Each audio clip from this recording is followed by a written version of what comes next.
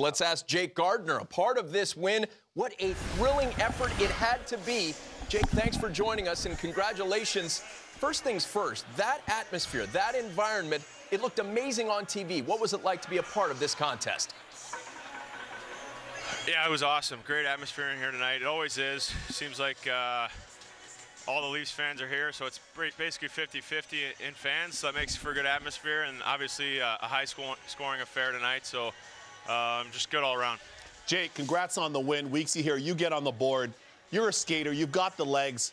The way your team is playing is tailor-made for your style. Tell us how fun it is to be a part of the Toronto Maple Leafs right now with all the speed, all the skill, all the hockey IQ that you guys have in your group. Yeah, I mean, it's great, especially adding Willie now, too. Um, such high talent up, up front, and it makes it easy on the defenseman.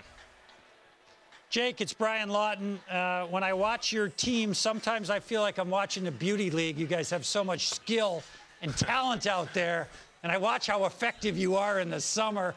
How much fun is it to play with this group of players right now? It obviously fits in your wheelhouse, but how, I know you love to play up tempo, but how much fun are you having and is the team having? Nice shout out to the beauty league there. That was that was good. Um, one of the coaches of coaches in the summer, so that's always fun seeing you there. Um, but yeah, it's it's it's a blast. I mean, and they're not just good offensively. They're they're, they're both good offensively and defensively, and and Babs has done a good job of that, um, holding everyone accountable, and and uh, we're we're playing well right now. And it starts with Freddie Andersen too. Oh, you're playing really well. Five wins in a row. Congratulations on this Congrats, one. Jake. And we will talk with you down the road.